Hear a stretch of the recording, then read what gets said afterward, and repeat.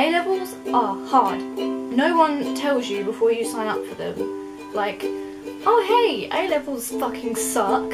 So you're just like plodding along like, oh, so excited for my A-levels, it's gonna be so fun, we'll learn about this, learn about that. And then you get there. In my first year of sixth form, I was doing maths, physics, psychology and ICT.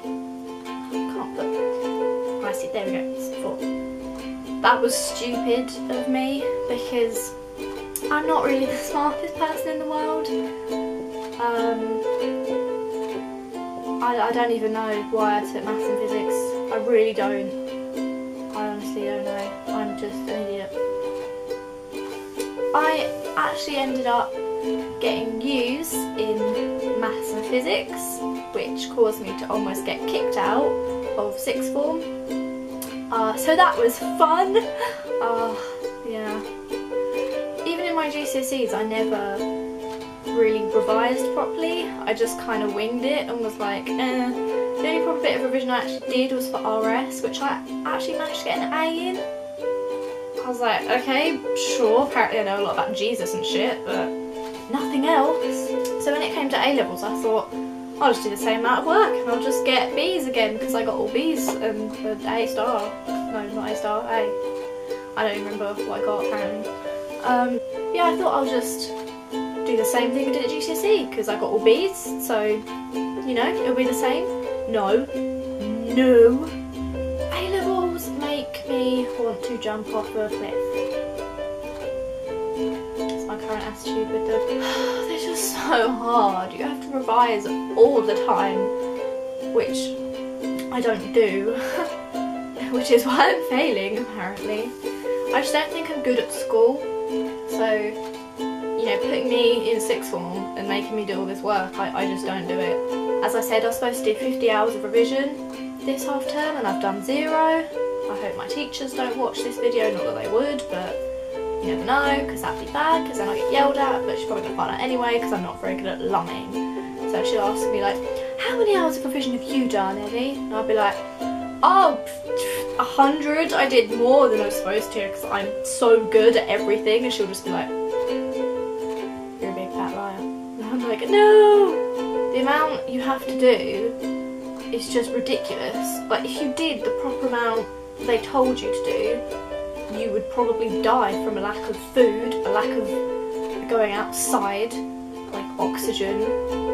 It's just ridiculous. Basically, everyone that does A-levels hates them. I've not met a person who said, no, I'm actually doing alright with A-levels. Literally everyone just wants to jump off cliffs. I'm sure this is probably putting you off doing A-levels if you are thinking about doing them. But, like, I don't know, the problem with me and probably a lot of people in the sixth form is that I'm not cut out for sixth form. It's like school but harder and you just have to do so much work. So just make sure you're prepared and you're committed enough to, to do A-levels because if you're not then you're just going to end up like me in my second year not wanting to finish them. I think that's the hardest thing about A-levels is trying to motivate yourself. Just trying to get myself to sit down and actually do some is ridiculous. Like I have to try and bribe myself with cookies but I've run out of cookies so I'm like what? What the hell am I supposed to bribe myself with? Like broccoli? Because that's all we friggin' have in the fridge. I don't even like broccoli. I, I like broccoli a lot to be honest. You could probably bribe me with broccoli. So weird, I love vegetables. My camera's running out of battery, that's not good, I have to talk quicker. If you're doing A-levels, I'm sorry for you. We're in the same boat, I suppose. We'll, we'll do this, we can get through it. You know, people always say to you when you're doing A-levels, they say like, oh, just do your best and you'll be fine. My best is definitely not going to be fine. A-levels are hard. It's so stressful. I'm like, why did I do A levels? Why did I take psychology? Why? But yeah, just keep going if you're if you're doing A levels. If you're thinking about doing A levels, make sure you consider because they are hard. That's an understatement. They are ridiculous. So don't take them lightly and think, oh, I'll be fine, I'll do the same as GCSE, because it doesn't work. Trust me, I tried it, failed, almost got kicked out sixth form.